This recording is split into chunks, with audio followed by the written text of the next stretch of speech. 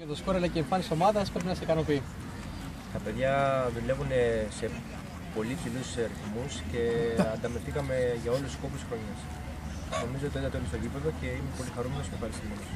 Ε, Ε, δυσκολίες υπάρχουν παντού και σε όλα τα επίπεδα. Και επειδή είμαστε ένα σωματείο που δουλεύουμε, θεωρώ, σε πολύ καλά πρότυπα, ε, οι δυσκολίες πρέπει να ξεπερνούνται ανώδυνα.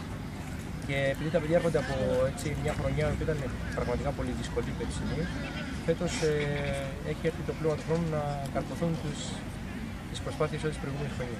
στόχος Νομίζω ότι αυτή είναι η δουλειά μας. Δεν είναι τα πρωταθλήματα και τα κύπελα. Στόχος είναι να μπορούν να παίξουν όσο περισσότερα παιδιά μπορούν σε ψηλό επίπεδο.